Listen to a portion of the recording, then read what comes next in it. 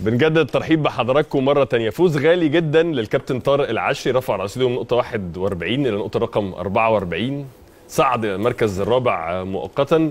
فريق الاتحاد السكندري كان غايب عن مستوى تماما الشوط الأول. الشوط الثاني حاول إدراك التعادل سجل هدف هدف تقليص الفارق ولكن لم يستطيع لاعبوه إدراك هدف التعادل عشان يحافظ كابتن طارق العشري وفريق طلائع الجيش على الفوز الغالي جدا. كابتن فاروق فوز مستحق لطلائع الجيش النهارده؟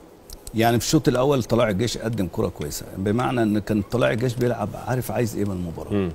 بعكس ال- الاتحاد الاتحاد الشوط الأول كان بيلعب من غير الدفاع عشان كده كان سهل جدا إن هو بيوصل من ثلاث أربع هجمات جاب هدفين.